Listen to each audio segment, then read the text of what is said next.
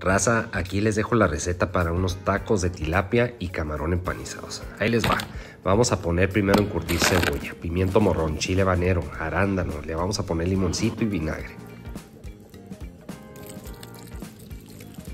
Ahora vamos a poner unos huevos, los revolvemos, harina, sazonamos y fileteamos esta tilapia. La pasamos por la harina, el huevo y este empanizador crujiente. Lo mismo para estos camarones que estamos sazonando.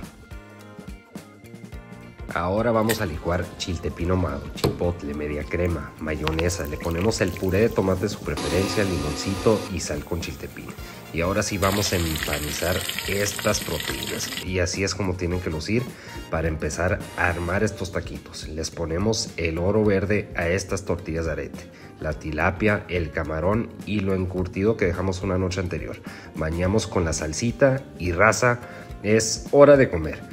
Espero que hayan disfrutado la receta. No olviden dejar su like, compartir la publicación y seguirme en redes sociales. Su amigo Bruno Galindo, el rey del grill. Hasta la próxima, gente. ¡Ánimo!